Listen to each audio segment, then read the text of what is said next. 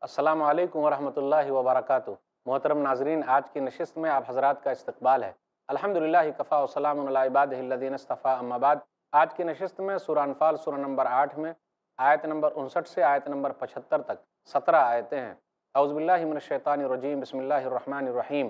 ولا يحسبن الذين كفروا سبقوا انهم لا يعجزون۔ اور جن لوگوں نے کفر کیا، وہ یہ خیال نہ کریں کہ وہ سبقت لے گئے ہیں۔ بے شک وہ اپنی چالوں سے اللہ کو عاجز نہیں کر سکتے۔ وَعِدُّ لَهُمْ مَسْتَطَاعْتُم مِّن قُوَّةٍ وَمِن رِّبَاطِ الْخَيْلِ۔ تُرْهِبُونَ بِهِ عَدُوَّ اللَّهِ وَعَدُوَّكُمْ وَآخَرِينَ مِن دُونِهِمْ۔ لَا تَعْلَمُونَهُمْ، اللَّهُ يَعْلَمُهُمْ۔ وَمَا تُنْفِقُوا مِن شَيْءٍ فِي سَبِيلِ اللَّهِ يُوَفَّى إِلَيْكُمْ وَأَنْتُمْ لَا تُظْلَمُونَ۔ اور ان کافروں کے مقابلے میں تم مقدور بھر قوت اور بدھے ہوئے گھوڑے تیار رکھو، جن سے تم اللہ کے دشمنوں اور اپنے دشمنوں اور ان کے علاوہ دوسروں کو ڈرائے رکھو جنہیں تم نہیں جانتے، مگر اللہ انہیں جانتا ہے اور تم اللہ کی راہ میں جو کچھ خرچ کرو گے، تمہیں اس کا پورا پورا ثواب دیا جائے گا اور تم پر ظلم نہیں کیا جائے گا۔ وَإِن جَنَحُوا لِلسَّلْمِ فَجْنَحْ لَهَا وَتَوَكَّلَ اللَّهِ إِنَّهُ هُوَ السَّمِيعُ الْعَلِيمُ۔ اور اے نبی، اگر وہ صلح کی طرف مائل ہوں، تو آپ بھی اس کی طرف مائل ہو جائیں اور اللہ پر بھروسہ رکھیں۔ بے شک وہی خوب سننے والا خوب جاننے والا ہے۔ وَإِن يُرِيدُ أَن يَخْدَعُوكَ فَإِنَّ حَسْبَكَ اللَّهُ، هُوَ الَّذِي أَيَّدَكَ بِنَصْرِهِ وَبِالْمُؤْمِنِينَ۔ اور اگر وہ آپ کو دھوکہ دینا چاہیں، تو بے شک آپ کے لیے اللہ کافی ہے۔ وہی تو ہے جس نے اپنی مدد سے اور مومنوں سے آپ کی تائید فرمائی۔ وَأَلَّفَ بَيْنَ قُلُوبِهِمْ، لَوْ أَنفَقْتَ مَا فِي الْأَرْضِ جَمِيعًا مَا أَلَّفْتَ بَيْنَ قُلُوبِهِمْ۔ وَلَكِنَّ اللَّهَ أَلَّفَ بَيْنَهُمْ، إِنَّهُ عَزِيزٌ حَكِيمٌ۔ اور اس نے ان مومنوں کے دلوں میں الفت ڈال دی۔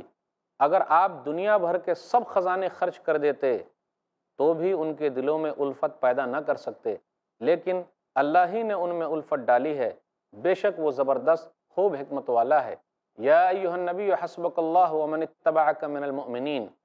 اے نبی، آپ کے لیے اللہ کافی ہے اور ان لوگوں کے لیے بھی جو مومنوں میں سے آپ کی پیروی کرتے ہیں۔ یا ایوہ النبی حرز المؤمنین علی القتال. ان یکم منکم عشرون صابرون یغلبو مئتین و ان یکم منکم مئتون یغلبو الفم من الذین کفروا بانہم قوم لا یفقحون اے نبی، مومنوں کو جہاد پر ابھاریں. اگر تم میں بیس صبر کرنے والے ہوں تو وہ دو سو کافروں پر غالب آئیں گے. اور اگر تم میں ایک سو صابر ہو تو وہ ہزار کافر پر غالب آئیں گے. اس لیے کہ وہ لوگ کچھ بھی سمجھ نہیں رکھتے. الا نخفف اللہ عنکم وعلم ان فیکم ضعفا فَإِيَّكُم مِّنكُم مِّئَةٌ صَابِرَةٌ يَغْلِبُ مِئَتَيْنِ وَإِيَّكُم مِّنكُم أَلْفٌ يَغْلِبُ أَلْفَيْنِ بِإِذْنِ اللَّهِ وَاللَّهُ مَعَ الصَّابِرِينَ اب اللہ نے تم سے تخفیف کر دی اور اس نے جان لیا کہ تمہارے اندر کچھ کمزوری ہے۔ چنانچہ اگر تم میں ایک سو صبر کرنے والے ہوں تو وہ دو سو کافروں پر غالب آئیں گے اور اگر تم میں سے ایک ہزار ایسے ہوں تو وہ اللہ کے حکم سے دو ہزار پر غالب آئیں گے اور اللہ صبر کرنے والوں کے ساتھ ہے۔ ما كان لنبي ان يكون له اسرى حتى يسخن في الارض تريدون عرض الدنيا والله يريد الاخره والله عزيز حكيم کسی نبی کے لائق نہیں کہ اس کے پاس قیدی ہوں۔ یہاں تک کہ وہ زمین میں خوب خون ریزی کرے۔ مسلمانوں، تم سامان دنیا چاہتے ہو اور اللہ تمہاری آخرت چاہتا ہے اور اللہ زبردست، خوب حکمت والا ہے۔ لولا کتاب من اللہ سبق لمسکم فیما اخذتم عذاب عظیم۔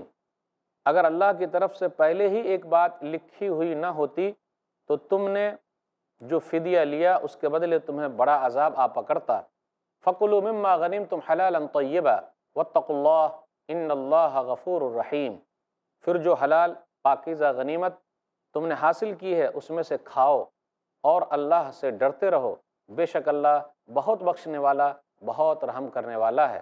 یا ایوہ النبی قل لمن فی ایدیکم من الاسرى ان یعلم اللہ فی قلوبکم خیرا یؤتیکم خیرا مما اخذ منکم ویغفر لکم واللہ غفور الرحیم اے نبی، جو قیدی تمہارے ہاتھوں گرفتار ہیں، آپ ان سے کہہ دیں کہ اگر اللہ تمہارے دلوں میں بھلائی جان لے گا، تو تمہیں اس فدیے سے کہیں بہتر عطا کرے گا جو تم سے لیا گیا ہے، اور تمہیں بخش دے گا، اور اللہ بہت بخشنے والا نہایت رحم کرنے والا ہے۔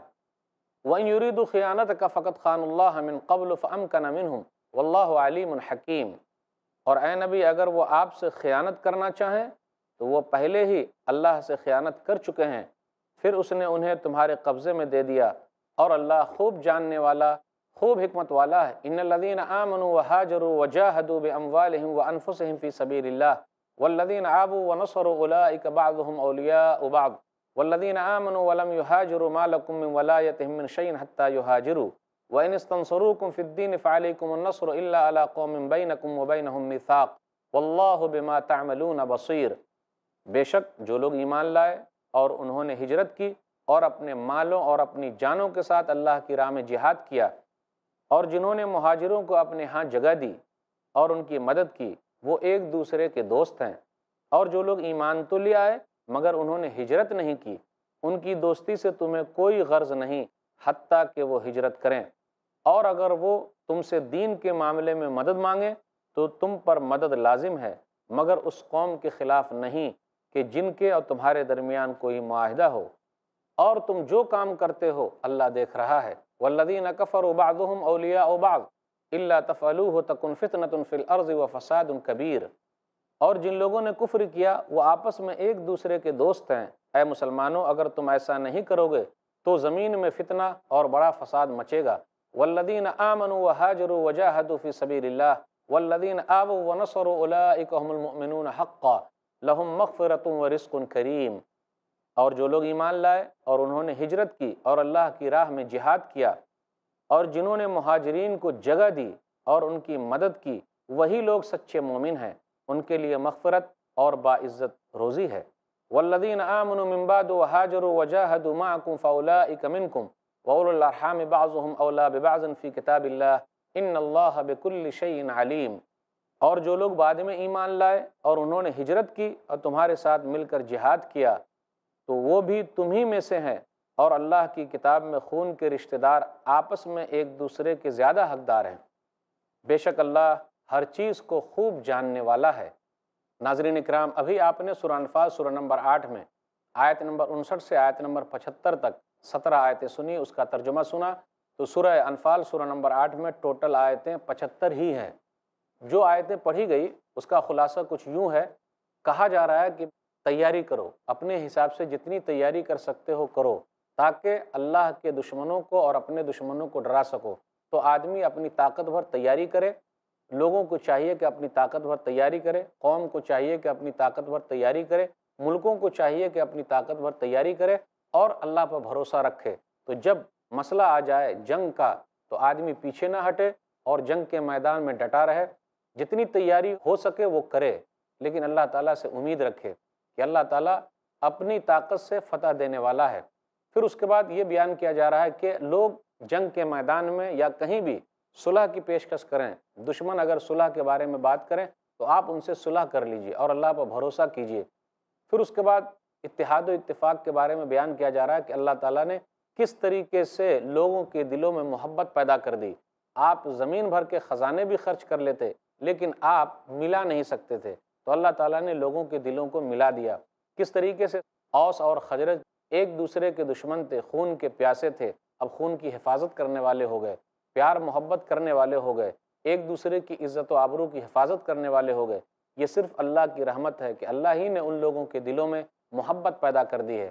اس کے بعد نبی صلی اللہ علیہ وسلم سے کہا جاتا ہے کہ آپ لوگوں کو قتال کے لیے، جہاد کے لیے ابھاریے۔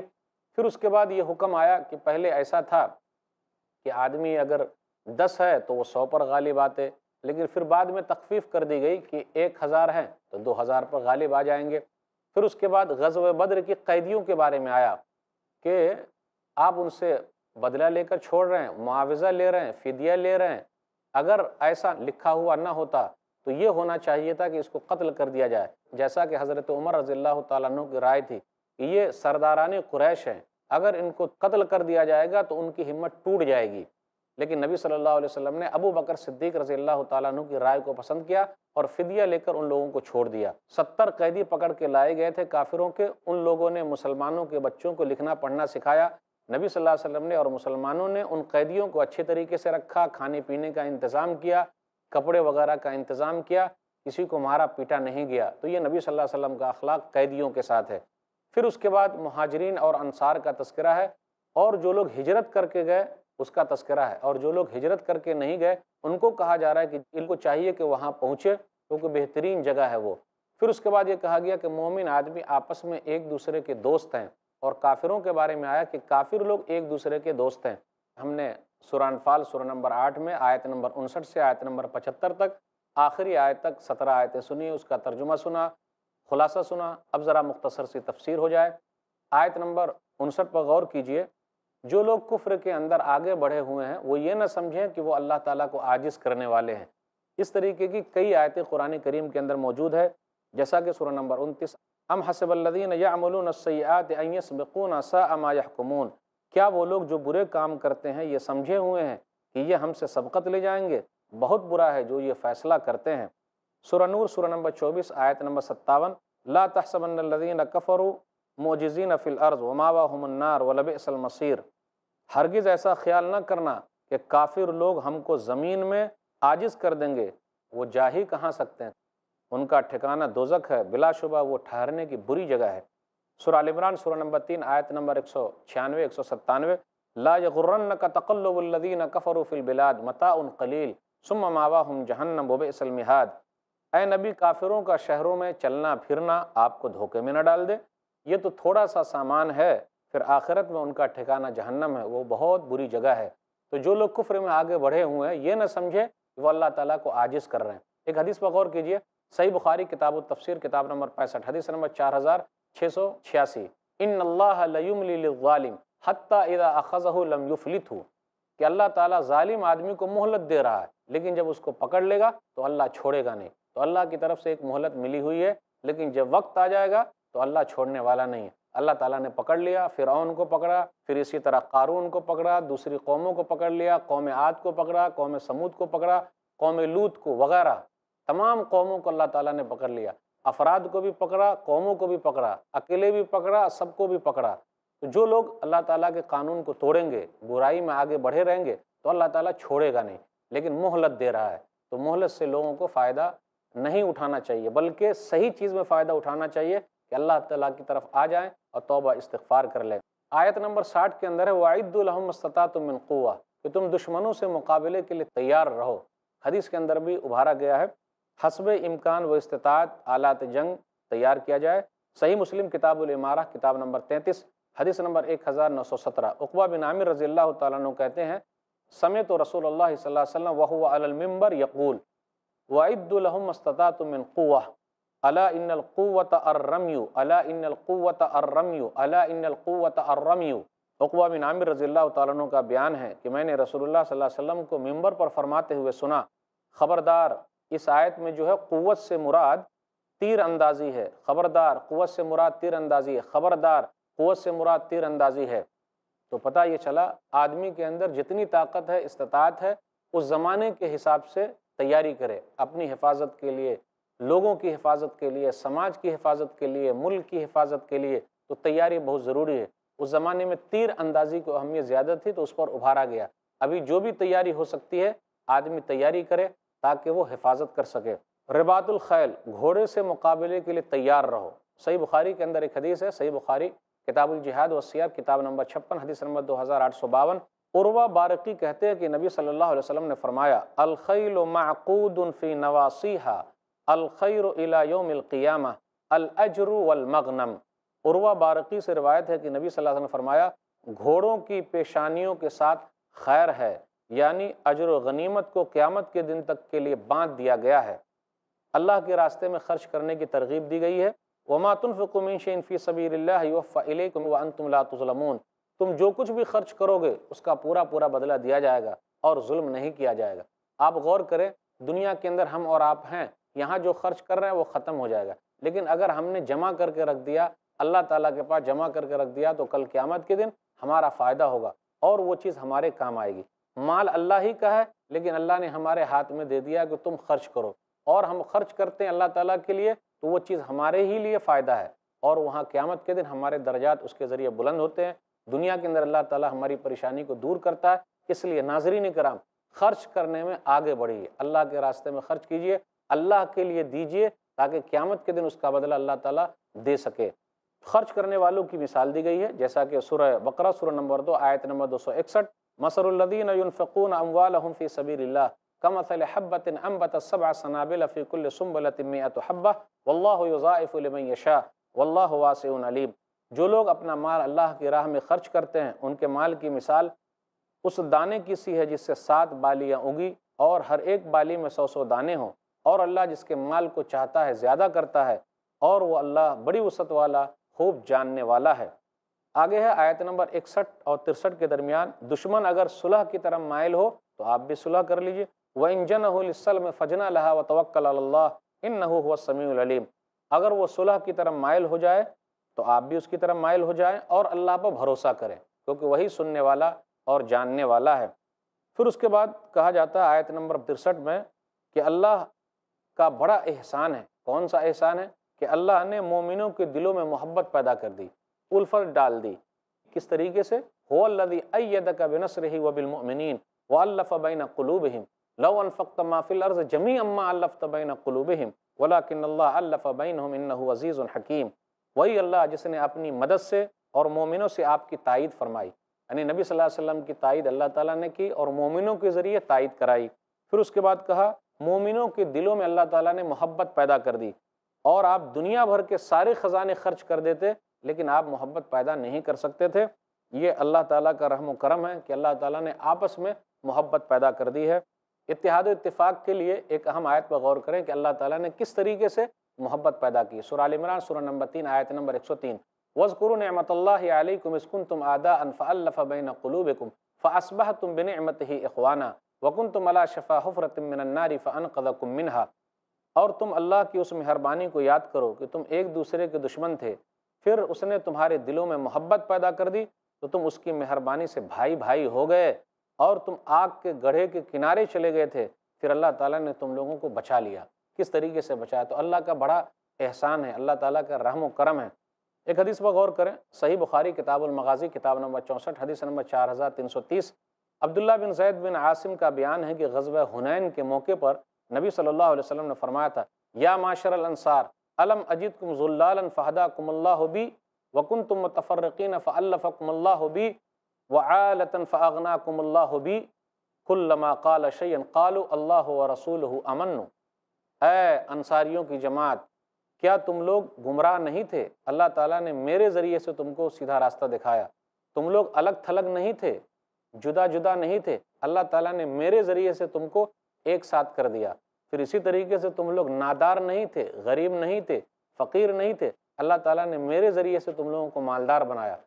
جتنی مرتبہ بات کہی گئی تو ان لوگوں نے یہی کہا، اللہ اور اس کے رسول کا ہم پر زیادہ احسان ہے۔ تو یہ اللہ تعالیٰ کا بڑا احسان ہے کہ اللہ تعالیٰ نے اپنے رحم و کرم سے لوگوں کے دلوں میں محبت پیدا کر دی ہے۔ اس کے بعد آیت نمبر چونسٹھ سے چھیاسٹھ کے درمیان غور کیجیے، جہاد کی ترغیب ہے اور فتح کی بشارت دی گئی ہے۔ اے نبی، آپ کے لیے اللہ کافی ہے۔ اللہ مومنوں کے لیے کافی ہے، نبی کے لیے کافی ہے۔ جو اللہ پر بھروسہ کرے گا، اللہ اس کے لیے کافی ہے۔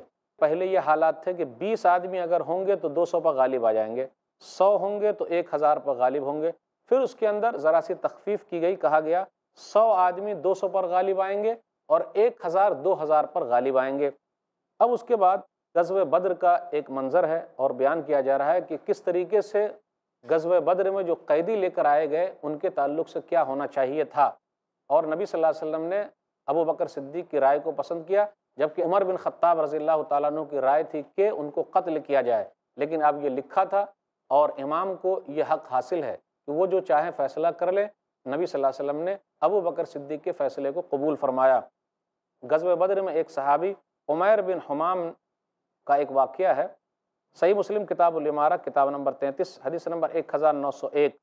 نبی صلی اللہ علیہ وسلم نے فرمایا قومو الجنہ ارض السماوات والارض۔ جنت کی طرف دوڑو۔ عمر بن حمام انصاری نے کہا، اللہ کے رسول، آسمان و زمین کی کشادگی کی طرح؟ کہاں نعم ہاں کہاں بخ بخ۔ رسول اللہ صلی اللہ علیہ وسلم فرمایا، بخ بخ سے کیا مراد ہے؟ کہا اللہ واللہ یا رسول اللہ رجا ان نکون من اہلیہ میں چاہتا ہوں کہ میں بھی جنتی لوگوں میں سے ہو جاؤں۔ فَإِنَّكَ مِنْ أَهْلِهَا۔ نبی صلی اللہ علیہ وسلم فرمایا، تو بھی انہی میں سے ہے۔ فَأَخْرَجَ تَمَرَاتٍ مِنْ قَرَنِهِ فَجَعَلَ يَأْكُلُ مِنْهُنَّ۔ پھر چند کھجور نکالی اور کھانے لگے۔ کہا، لَئِنْ أَنَا حَيِّتُ حَتَّى آكُلَ تَمَرَاتِ هَذِهِ إِنَّهَا لَحَيَاتٌ طَوِيلَةٌ۔ انہوں نے کہا، اگر میں یہ کھجور کھاتا رہا، تب تو زندگی بڑی لمبی ہو جائے گی۔ کھجور کو پھینکا، میدان جنگ میں گئے اور وہ شہید ہو گئے۔ آیت نمبر سڑسٹھ، اڑسٹھ، انہتر کے درمیان ہے غزب بدر کی قیدیوں کے بارے میں۔ ماکان علی نبی یقون الہ اسرا حتیٰ یسکنہ فی الارض۔ کہ نبی صلی اللہ علیہ وسلم نے صحابہ کرام سے مشورہ لیا، ابو بکر صدیق سے مشورہ لیا، عمر فاروق رضی اللہ تعالیٰ عنہ سے مشورہ لیا۔ سب سے مشورہ لیا تو مشورے میں یہ بات آئی، جو بات تھی ابو بکر صدیق کی، کہ آپ فدیہ لے لیں اور ان لوگوں کو چھوڑ دیں۔ لیکن یہ آیت جو اتری، عمر بن خطاب رضی اللہ تعالیٰ عنہ کے سپورٹ میں اتری۔ تو ان کی رائے یہ تھی کہ یہ سرداران قریش ہے ان کو مار دیا جائے تاکہ کفار کی طاقت ٹوٹ جائے۔ تو کہا گیا، یہ فدیہ جو ہے تمہارے لیے دنیاوی چیز ہے۔ اللہ تعالیٰ چاہتا تھا کہ آخرت میں تم لوگوں کو ملے۔ اس کے بعد آیت نمبر ستر، اکہتر میں قیدیوں سے اچھے معاوضے کا وعدہ کیا گیا ہے۔ بہتر میں مہاجرین اور انصار ایک دوسرے کے دوست ہیں، اس کا تذکرہ ہے۔ تہتر میں یہ کہا گیا، کافر ایک دوسرے کے دوست ہیں۔ آیت نمبر چوہتر اور پچہتر میں کہ وہ لوگ جو ایمان لائے، انہوں نے ہجرت کی، اللہ کے راستے میں جہاد کیا۔ اور ان لوگوں نے دوسروں کی مدد کی، تو وہی لوگ اچھے ہیں۔ اور اللہ تعالیٰ نے وعدہ کیا کہ یہی لوگ سچے مومن ہیں اور اللہ تعالیٰ ان کو بخشے گا، بہترین روزی دے گا۔ تو یہ چند باتیں تھیں۔ اللہ تعالیٰ سے دعا ہے کہ اللہ تعالیٰ ہم لوگوں کتاب و سنت میں چلنے کی توفیق دے۔ اللہ قرآن کریم سے ہم لوگوں کو جوڑ دے۔ قرآن کی محبت ہمارے دلوں میں بیٹھا دے۔ صحابہ کرام کی محبت ہمارے دلوں میں بیٹھا دے۔ آمین۔ واخر دعوانا الحمد للہ رب العالمین۔ وصلی اللہ علیہ نبینا محمد و علیہ وصحمہ السلام علیکم ورحمۃ اللہ وبرکاتہ۔